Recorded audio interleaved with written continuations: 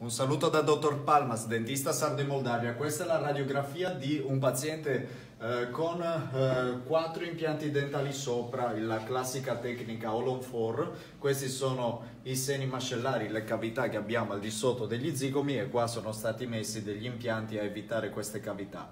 Eh, questa non è una lastra di un paziente che si è curato da noi. Questa è una lastra, per esempio, che ho trovato sul web. Uh, in questa lastra fai attenzione perché qua sotto questo è il canale del nervo mandibolare, qua è il canale dell'altro uh, nervo che passa a sinistra, ma si vede che qui sotto c'è una tonnellata di osso per mettere impianti nella zona più posteriore.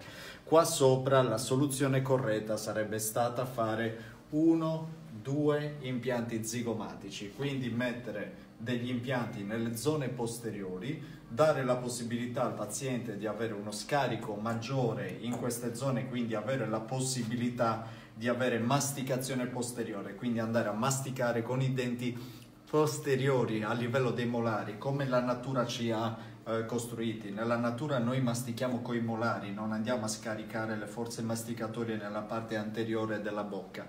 Questo è importante perché fai attenzione le case eh, che vanno a spingere mm, le tecniche chirurgiche eh, delle volte cercano di proporre ai dentisti queste soluzioni come se fossero le soluzioni adatte a tutti i pazienti. Alcuni dentisti ci cascano al gioco delle case produttrici di impianti dentali, ti assicuro che non sempre queste tecniche chirurgiche sono la scelta migliore eh, per tutti i pazienti. Il dentista esperto è il dentista che sa usare a seconda della tipologia di problematica del paziente la tecnica migliore. Ok?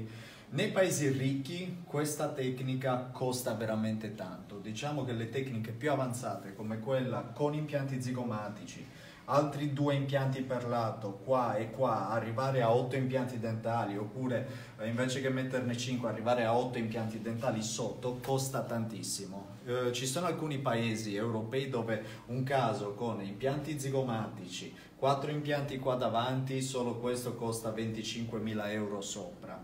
Sotto otto impianti dentali siamo altri 20.000, si arriva a tutta la bocca a 40.000 euro. Questo diventa molto costoso per il paziente e il paziente uh, che non può spendere i soldi, ok, in questi paesi i miei colleghi possono avere difficoltà a proporre il trattamento migliore perché il paziente si spaventa, ok?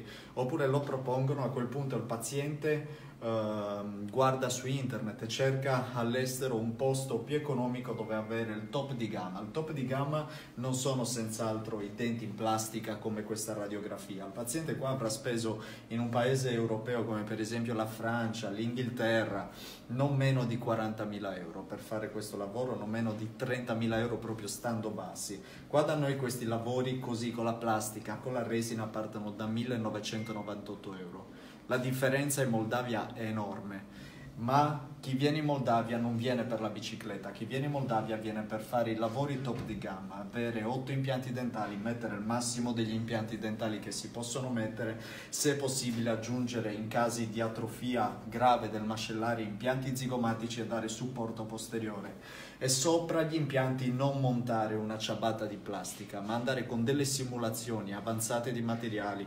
zirconio, pecton, metalli eh, con le forme anatomiche sui quali mettere i denti singolarmente in ceramica sopra. Questi sono lavori che se fatti in America, un lavoro come quello che ti sto dicendo arriva a costare anche 90.000 dollari. Um, il dentista dovrebbe essere pagato dallo Stato, non dal paziente, perché quando tu costringi il paziente a uh, doversi pagare le terapie, le terapie che vengono proposte e fatte nella bocca saranno delle terapie senz'altro eh, che hanno all'interno un conflitto di interessi enorme come una casa e il paziente potrà avere le terapie che massimo si può permettere, non le migliori possibili oggi al mondo.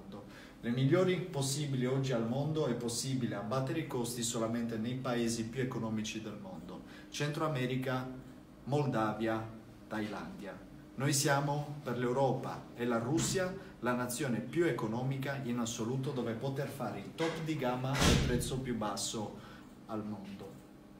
Un saluto da Dottor Palmas.